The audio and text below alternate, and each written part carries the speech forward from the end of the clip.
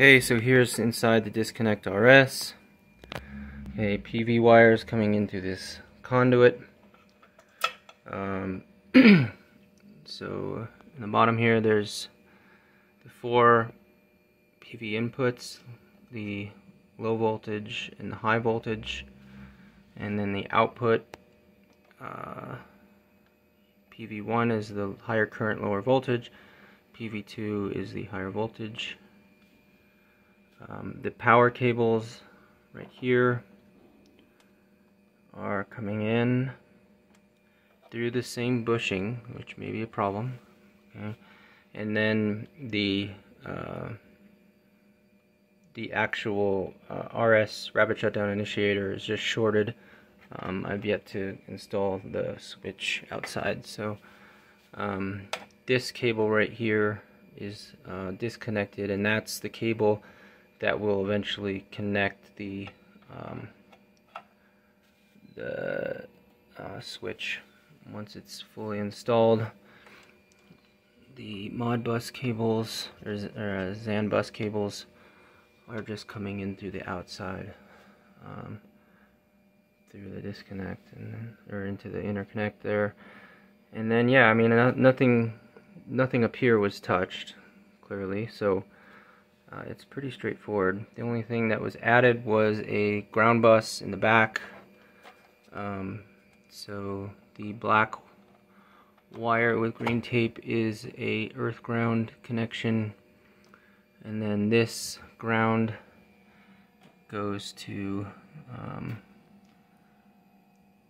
the uh, power distribution panel ground and then a separate ground goes to the chassis ground back here.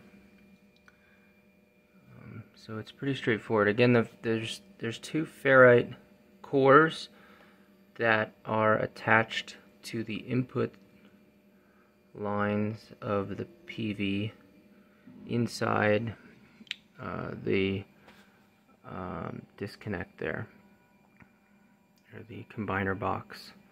So that all that combiner box is going to be cleaned up once this is mounted on the wall. Um, but for this purpose, it's basically how I'm able to test this system. So I guess one thing I could do is temporarily rewire this power line uh, and see if there's some noise on that that's coupling um, uh, but there's really not um, easy way to get it through this wall without drilling. So this knockout does not line up with this knockout. Um, okay.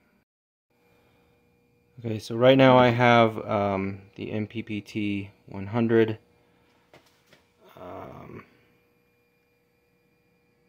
not tracking so I have it at a fixed uh, 285 volts so let's go ahead and make it tracking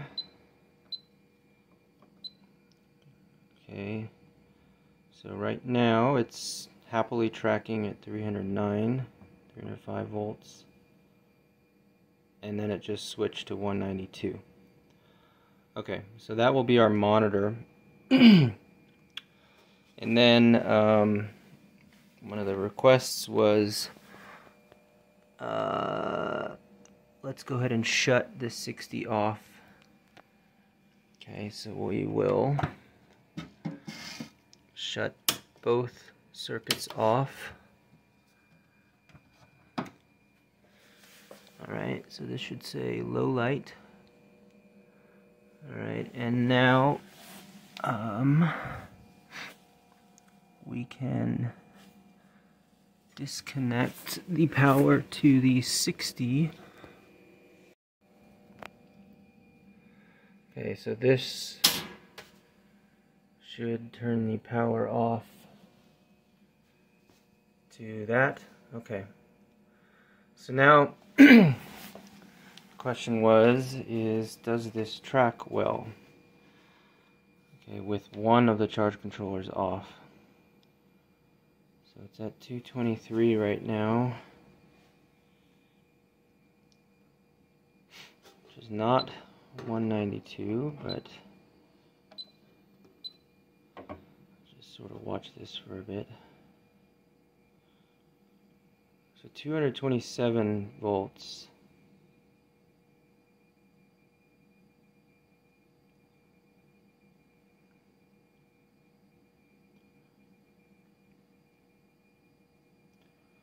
So that's not peak power, but it's not sitting at 192 volts.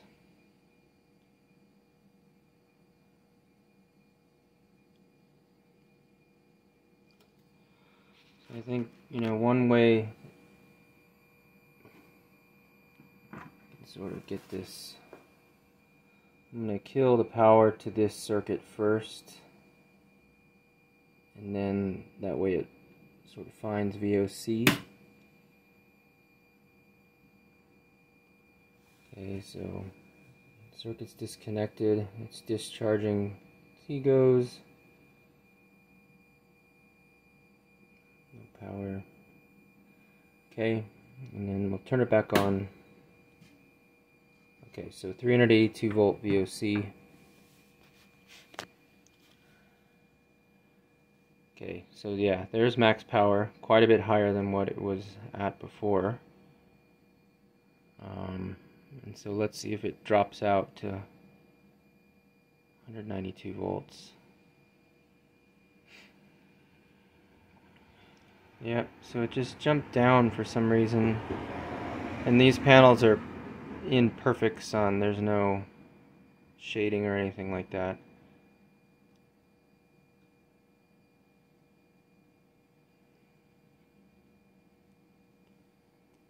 So it's sitting at 234 volts.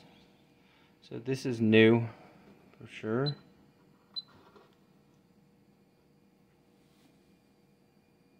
And there it goes. Okay, so it just dropped to 192 and now back to VOC.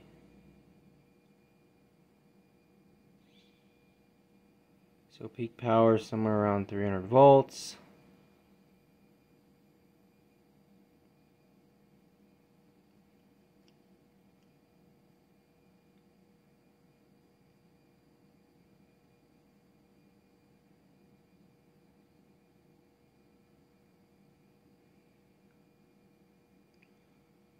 Tracking well.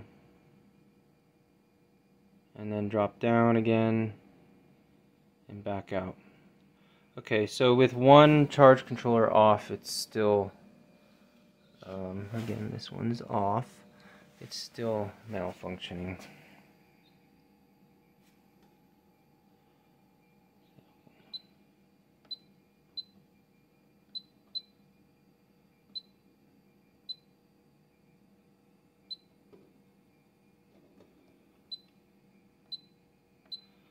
power curve is actually pretty flat between 280 and 290 so yeah we get good power just keeping keeping it at a fixed voltage right now. Yeah, that's all. Okay so this is a continuation of um, outside of the uh, disconnect RS okay so the PV wires come in um, these two go up uh, to the uh, MPPT 60.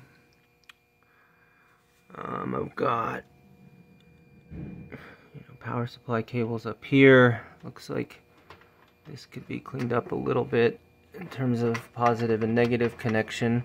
So I guess there could be some noise um, since this positive and negative are going through the same you know conduit area here as the PV wires. So this is the 600 wires. Um, that go to, check everything off here, to the MPPT 60. So this is how I have it wired up. Battery cables are all up here. Um, all the AC wiring bundle, and then this is the PV wire. I have it, you know, sort of separated. And then there's the ferrite core. Um, you know, this doesn't, it's not, this doesn't really serve its purpose, this plastic piece, when the MPPT 100 is, is on this side, um, on the left side of the unit, but sort of the best I could do. I guess I could try you know, sort of running this cable in conduit inside here. Maybe that would, and then maybe, you know, this battery connection is uh, adding noise right in here. So,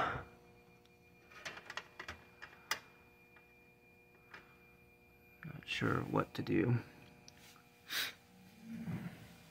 Okay, so the whole unit is is on a frame right now that's going to be mounted to the wall, but right now it's just freestanding. Um, and then the disconnect here. Uh, there's the two ferrite cores in, in here, so that should you know sort of clean up the PV signal coming into disconnect RS. And then this is the EG4 battery bank. Um, so battery monitors up here. This is a Victron uh, just fuse box. The battery shunt is back there. And then these are the, the uh, LifePower4s, which I know you guys are working on with Signature Solar to kind of get actual communication with. So here's the main negative up here. And then the main positive is down here.